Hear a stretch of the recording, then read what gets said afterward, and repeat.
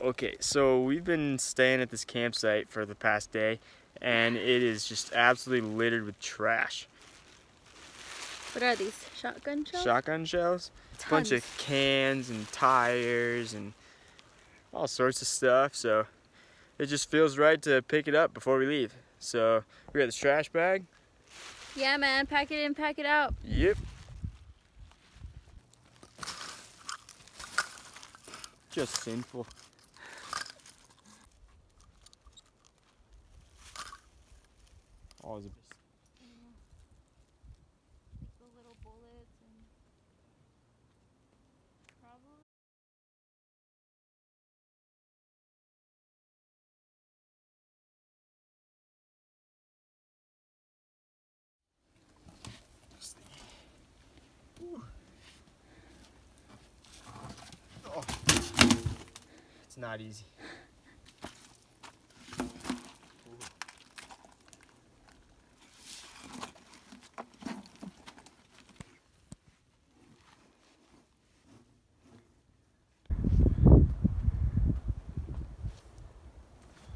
How much do you think that weighs? A lot. Woohoo!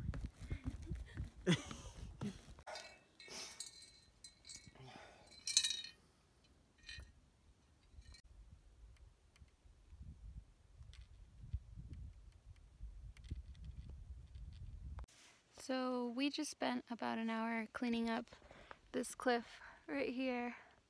I'm thinking about how the people that came here, came, that trashed this place, came to experience nature just like me.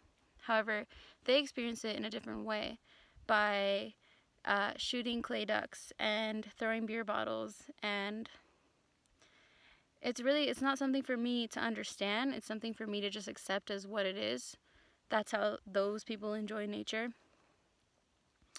And i spent my morning cleaning up after those people and the thing that really bothers me the most is that this land is so beautiful and sacred. And it's all of ours. It's public lands here in the united states and it's shared.